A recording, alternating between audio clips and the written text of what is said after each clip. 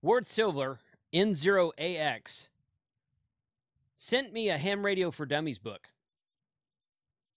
I think I'm mildly offended.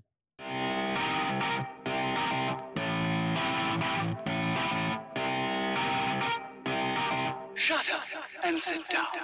Ham Radio 2.0, where we do reviews, news, and how to's of things that are new in amateur radio. this is all in good fun, by the way. Those of you who might be watching for the first time, I'm I'm often not very serious on this channel, and I just like to have fun with ham radio. So there's a thing with that. So I'm Jason KC5HWB. Thanks for watching today. Ward Silver did actually send me this Ham Radio for Dummies book. He is the author of the Ham Radio for Dummies book. This is the fourth edition that was just released. And he emails me and he says, Hey, would you like to do a video about this book? And I said, Well, okay, what do you want me to say about it? And he gave me some talking points, and I'm like, Yes, that's that's a great idea. Ward Silver, H. Ward Silver, he is, uh, this is the fourth edition right here. There's a thing on the back here.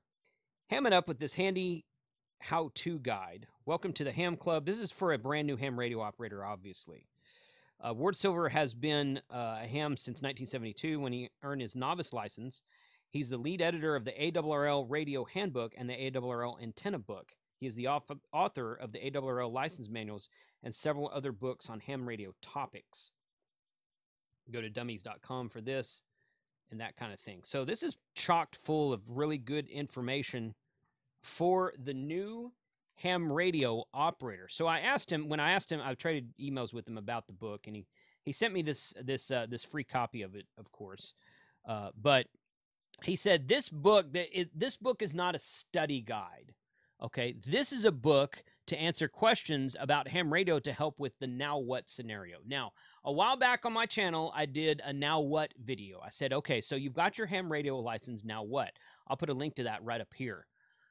This book is an even more intense version of the now what. The, so the now what I gave you like seven points that you should go do further research on. This th- while this was not on the now what video that I did, this it ne- it needs to be. If I ever do an updated now what, I'll add this to it. So they they do a lot of stuff in they talk about a lot of stuff in this book. Oh look, there's a a, a page about TAPR even. That's kind of cool page about TAPR right there. The YL Radio League. So, Handy Hams, AMSAT, IOTA, SOTA, and POTA. There you go. Talking part in specialty groups. Taking part in specialty groups. IOTA, SOTA, and POTA. Youth on the air. Competitive clubs. All kinds of good stuff. So, the talking points that Ward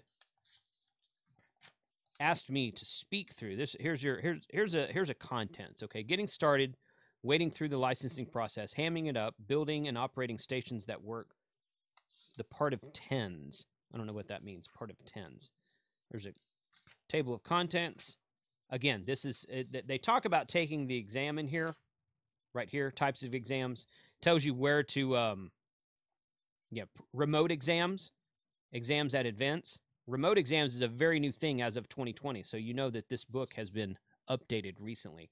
So some of the talking points that he asked me to to touch on for this book are that every portion of the book has been updated to some degree since the third edition.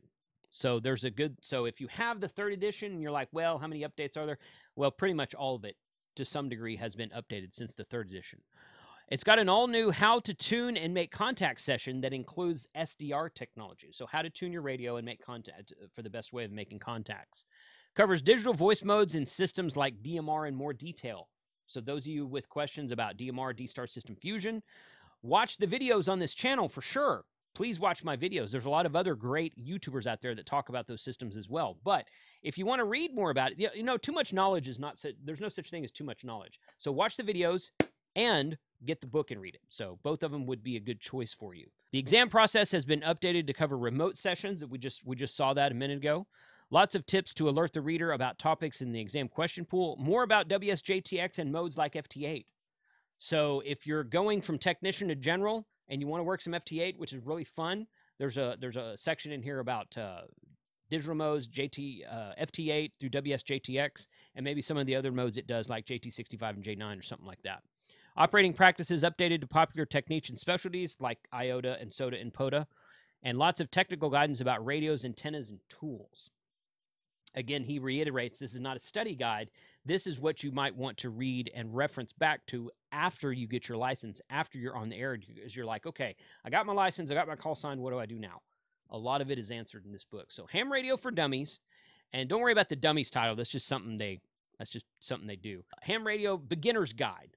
Think of it as a beginner's guide to ham radio with some really great information. I'll put a link in the description below where you can pick up this book. Let me know if you have it. Let me know if you have an earlier edition, what you think about it. Put a put a comment in the YouTube video below. 73. Ham Radio 2.0, where we do re- uh, reviews. Ward Silver. What is he? N0AX?